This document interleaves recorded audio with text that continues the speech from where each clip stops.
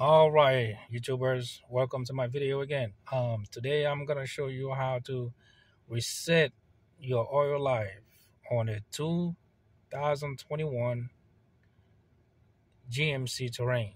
So the first thing you're gonna do, of course, your vehicle might be on this screen, and to get it back to the regular screen, you this button right there is just gonna show you the press the arrow left or press the the right one or up and down. So what we're gonna do, if you wanna get back to the um, home screen, you just press the right one and it takes you back to the home screen.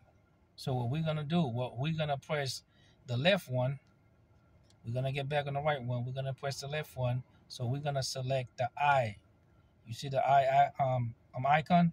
So that's gonna take us to our oil life. Um, this one is showing 25%.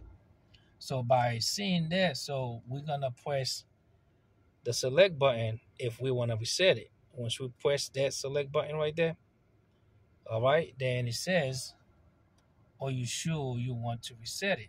So if now we select on no, so if we want to select on yes, we're gonna select the right arrow um, arrow check mark and then it's gonna select yes. So once you select yes then you're gonna press the check mark which is right here.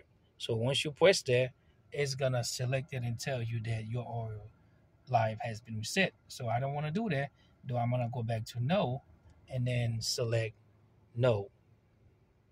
And then it goes back to 25 percent the reason why I don't want to do it because I just want to make the video to show you guys. So once I change my oil, then I'm gonna go ahead and put in my own process. All right, guys.